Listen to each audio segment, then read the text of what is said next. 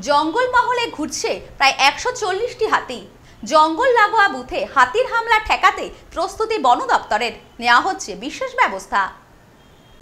তাপমাত্রার পারদের সাথে পাল্লা দিয়ে বাড়ছে ভোটের পারদ।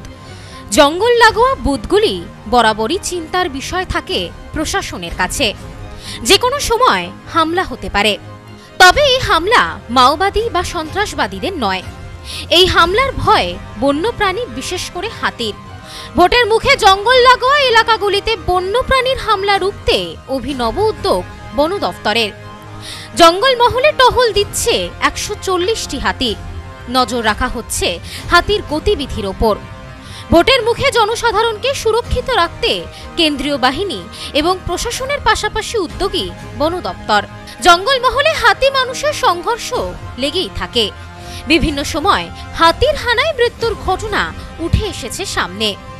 জঙ্গল লাগোয়া এলাকাগুলি মানুষের হাতির উপদ্রবে একেবারে নাজেহাল হয়ে ওঠে। বিভিন্ন সময় বাঁকুড়া, বীরভূম সহ পশ্চিম মেদিনীপুর এলাকার গ্রামগুলিতে হাতির তাণ্ডব দেখা যায়।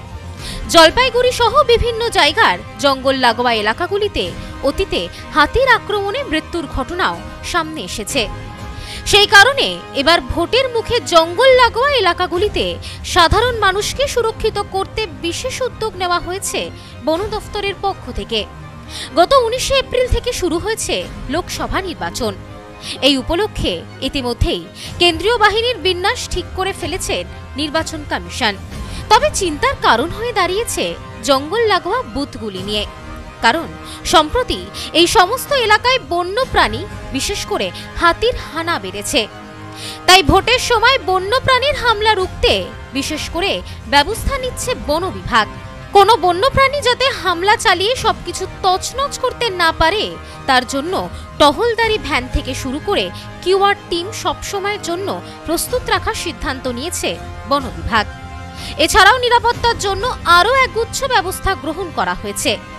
বাঁকুড়া, ঝাড়গ্রাম, পশ্চিম মেদিনীপুর, এছাড়াও মূলত শিলিগুড়ি শহরের আশেপাশে বৈকণ্ঠপুর, মহানন্দার জঙ্গল রয়েছে। আবার কিছু এলাকায় কার্শিয়াংয়ের জঙ্গল রয়েছে। এই এলাকায় সব মিলিয়ে পঁচিশটির মতো বুথ রয়েছে। ভোটগ্রহণ কেন্দ্র রয়েছে শিলিগুড়ি লাগোয়া, লালটং বস্তি, ছোট ফাপড়ি, নেপালি বস্তি সহ একাধিক জায়গায়। এরই মধ্যে অধিকাংশ বুথ পড়েছে জঙ্গল লাগোয়া এলাকায়। আবার বৈকণ্ঠপুর ডিভিশনের ডাবুগ্রাম রেঞ্জ এলাকায় চারটি সারুগারা রেঞ্জের পাঁচটি এরকম বুথ রয়েছে। অন্যদিকে বাগডোগরা, সুকনা ফাঁসি দেওয়াতেও জঙ্গল লাগোয়া বুথ রয়েছে বেশ কয়েকটি। জানা যায়, ভোট শুরু হওয়ার আগের দিন সেখানে পৌঁছে যাবেন ভোটকর্মীরা এবং নিরাপত্তা রক্ষীরা। এরপরই নিকটবর্তী রেঞ্জের বন দফতরের দল সেখানে পৌঁছে যাবে। বর্তমান সময় দাঁড়িয়ে জঙ্গল লাগোয়া এলাকাগুলিতে মাওবাদীদের থেকেও প্রধান ভয়ের বিষয় হয়ে উঠেছে বন্যপ্রাণীর আক্রমণ।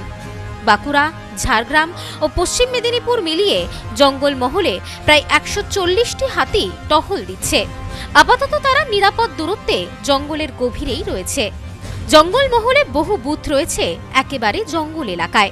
সেখানে হাতির উপদ্রব নিয়ে ভয় থাকে সব সময়। হাতি মানুষের সংঘর্ষ ঠেকাতে দু হাজার দশ সালে বন দফতরে টাস্ক ফোর্স গঠন করা হয়েছিল। সেই বাহিনীও কাজ করেছে সেখানে। এখন ক্যামেরার মাধ্যমে রিয়েল টাইম মনিটরিংও করা হচ্ছে। তা সত্ত্বেও হাতির হামলা পুরোপুরিভাবে ঠেকানো যায়নি।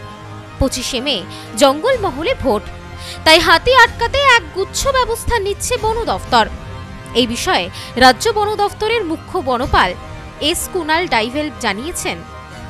জঙ্গলমহলে একশো চল্লিশটি হাতি, সবগুলোই রয়েছে গভীর জঙ্গলে। জনবসতির কাছাকাছি কোনো হাতি নেই। তবুও নির্বাচনের সময় যাতে কোনো হামলা বা দুর্ঘটনা না ঘটে, তার জন্য আমরা সব সময় নজর রাখছি। দ্বিতীয়ত, পশ্চিম মেদিনীপুরের দিক থেকে যাতে নতুন করে হাতি বাঁকুড়ায় না ঢোকে, তার জন্য অ্যালার্ট জারি করা হয়েছে। ভোট পর্ব নির্বিঘ্নে পার করতে যে সমস্ত পদক্ষেপ দরকার, তা সবই আমরা করছি। জানা গিয়েছে, নিরাপত্তা রক্ষীরা থাকার পাশাপাশি বনকর্মীদের নম্বর দেওয়া হবে ভোটকর্মীদের। শুধু তাই নয়, বন্যপ্রাণী তাড়ানোর জন্য তাদেরকে পটকাও দেওয়া হবে। এছাড়াও, ভোট গণনা কেন্দ্রের আশেপাশে রাতভর টহলদারি চালাবে বন দফতরের বিশেষ ভ্যান। এছাড়াও কিউআর টিম থাকবে সেখানে। সেক্ষেত্রে কোনো খবর পেলে তারা দ্রুত সেখানে পৌঁছে যাবে। আবার দিনের বেড়াতেও বন দফতর টহল দিয়ে বেড়াবে।